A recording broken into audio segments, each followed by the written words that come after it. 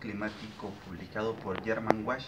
eh, Nicaragua sigue apareciendo entre la lista de los 10 países más vulnerables ante los impactos del cambio climático. El informe más reciente ubica a Nicaragua en el lugar, en el lugar número 5